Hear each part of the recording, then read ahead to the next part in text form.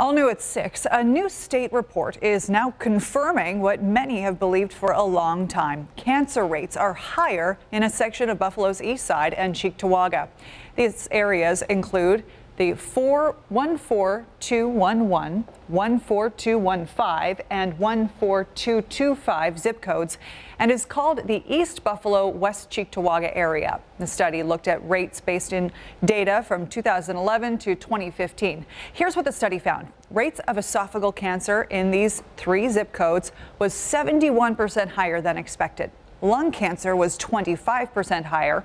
Colorectal rates were 40% higher. Prostate 49% higher. And kidney cancer was 69% higher in the East Buffalo, West Cheektowaga area.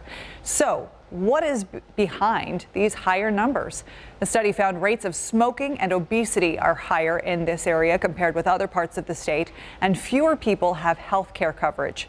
7 Eyewitness News reporter Madison Carter explains why some say this is an issue that's going to take much more than a report to address.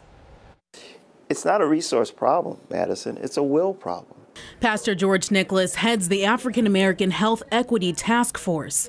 He says the report out this week is putting the cart before the horse when it comes to solutions. So you can't change health outcomes without changing economic outcomes. And you can't really change economic outcomes without changing educational outcomes. And you can't change, education. you know. We've always been that community that could be ignored. We've always been that community that has never been listened to.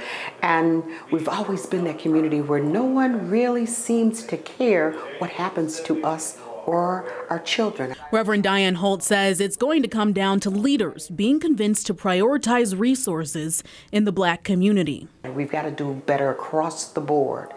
And the scary piece is that it costs money. Nicholas says it's going to take not just money, but policies, development, infrastructures, and bodies, human resources. There has been structural, institutional, systemic racism that has been embedded in our culture since we came here. The report says it's not the environment that's causing the higher rates of cancer, it's lifestyle. Smoking and obesity rates are higher in the cluster area.